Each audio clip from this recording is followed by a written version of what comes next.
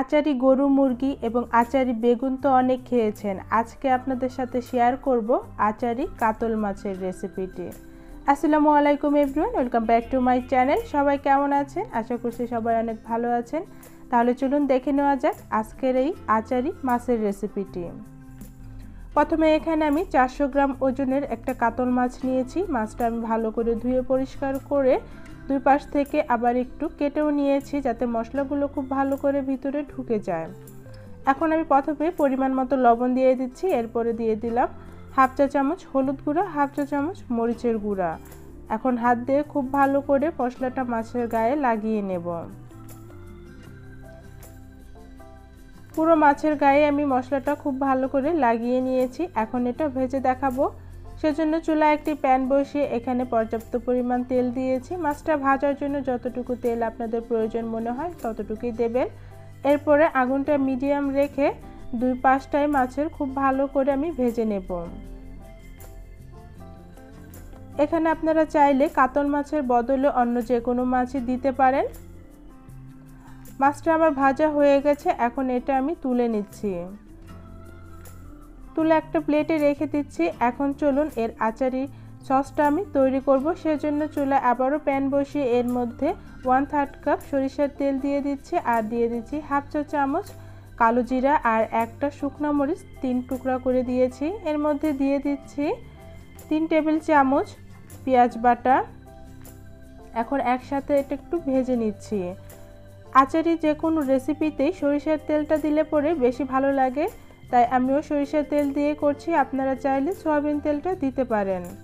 এরপর দিয়ে দিলাম দুটো কাঁচামরিচ ফালি। দিয়ে দিচ্ছি হাফ চা চামচ করে আদা বাটা এবং রসুন বাটা।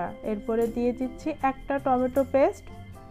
এখন আমি এর মধ্যে দিয়ে দিব হাফ চা চামচ করে হলুদ গুঁড়া, মরিচ গুঁড়া, ধনে গুঁড়া এবং জিরা গুঁড়া।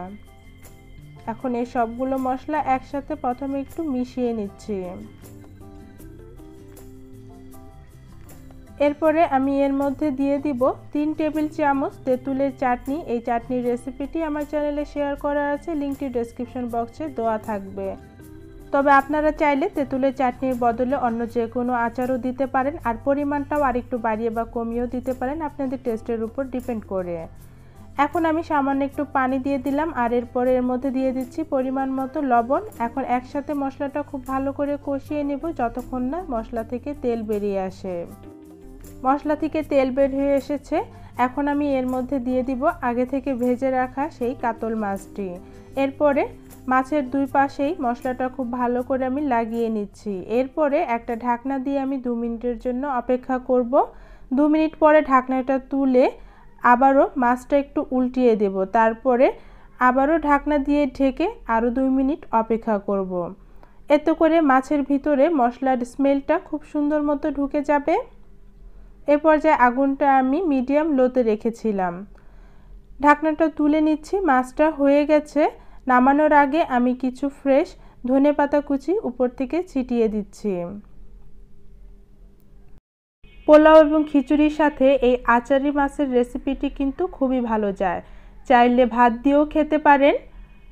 এখন এটা চুলা থেকে নামিয়ে নিচ্ছি, হয়ে গেছে। বাসায় একবার হলো ট্রাই করে দেখবেন আমার এই আচারি কাতল মাছের রেসিপিটি আশা করছি আপনারা নিরাশ হবেন না। আর আপনাদের কাছে কেমন লেগেছে সেটাও কমেন্টসের মাধ্যমে আমাকে জানাতে ভুলবেন না। যারা এখনও আমার চ্যানেলটি সাবস্ক্রাইব করেননি, তারা প্লিজ আমার চ্যানেলটি সাবস্ক্রাইব করে আমার পাশে থাকবেন। আর ইতিমধ্যে যারা করেছেন, তাদেরকে অসংখ্য ধন্যবাদ। সবাই অনেক বেশি ভালো থাকবেন। আজ এখানেই বিদায় নিচ্ছি। আল্লাহ হাফেজ।